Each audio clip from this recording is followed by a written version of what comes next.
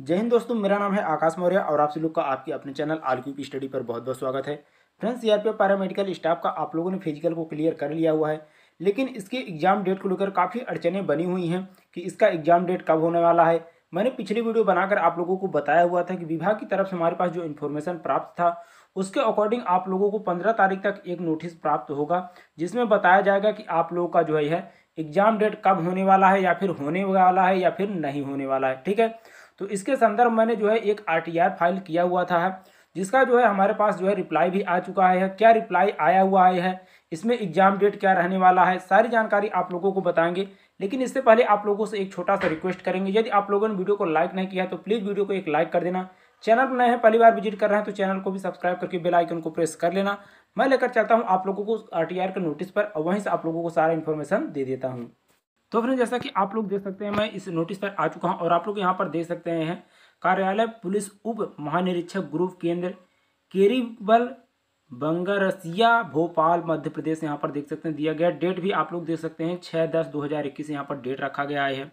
तो यहाँ पर विषय में देख सकते हैं, सूचना का अधिकार अधिनियम के अनुपालन प्रति उत्तर, ठीक है? तो यहाँ पर आपके द्वारा प्रस्तुत है, सूचना का अधिकार अधिनियम 2005 के तहत प्रस्तुत आवेदन पत्र के तहत मांगी गई है। वांछनीय अधिकार के संदर्भ में यह अवगत कराया जाता है कि, ठीक है, यहाँ पर खंड ख में आप लोग देख सकते हैं, पैरामेडिकल स्टाफ की लिखित परीक्षा की तिथि अभी तक घोषित नहीं की गई है, ठीक है? यहाँ पर आप लोग बहुत बड़ा अपडेट दे सकते हैं। अभी तक लिखित परीक्षा का जो है कोई भी तिथि घोषित नहीं किया गया है। जो लोग बता रहे हैं आप लोगों को कि नवंबर में हमारा जो है आप लोगों का एग्ज़ाम होगा, दिसंबर में आप लोगों का एग्ज़ाम होगा तो यह जो है, आप लोगों को अनुमानित डेट बता रहे हैं कि, अपने अनुमान से बता रहे हैं कि संभावित तिथि है यह, कि इस महीने में हो सकता है, अगले महीने में हो सकता है यह। तो ये सभी संभावित तिथि हैं, लेकिन अभी तक विभाग की तरफ़ से कोई भी ऑफिशियल जानकारी नहीं दी गई है।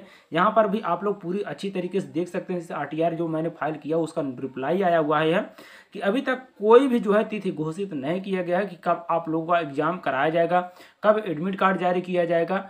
बस उम्मीद करते हैं आप लोगों से यही है कि आप लोगों की दुआएँ लगें जल्दी से जल्दी है और आप लोगों का इसका जो है एग्ज़ाम भी करा लिया जाए क्योंकि इसके फ़िज़िकल को लेकर भी जो है काफ़ी अड़चने बनी हुई थी, लेकिन आप लोगों का फ़िज़िकल करा लिया गया है।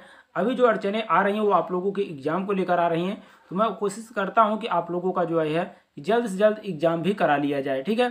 तो इसके लिए मैं आगे चलकर सोच रहा हूँ, एक कैंपेन चलाने के लिए है। तो देखता हूँ आप लोगों को जो है जल्दी इसके बारे में इन्फॉर्म करूँगा और आप लोगों को उसमें बढ़ चढ़ कर हिस्सा लेना है, ताकि आप लोगों का जो है जल्द से जल्द इसका एग्ज़ाम भी करा लिया जाए, ठीक है? तो फ्रेंड्स हम लोग ऐसे ही उम्मीद करता हूँ है कि अच्छी अच्छी इन्फॉर्मेशन आप लोगों तक पहुँचती रहे है। तो आप लोग चैनल को सब्सक्राइब नहीं किए हैं तो चैनल को सब्सक्राइब कर लीजिए। मैं इसी प्रकार से नई जानकारी के साथ नई वीडियो मिलूँगा। तब तक के लिए टेक केयर गुड बाय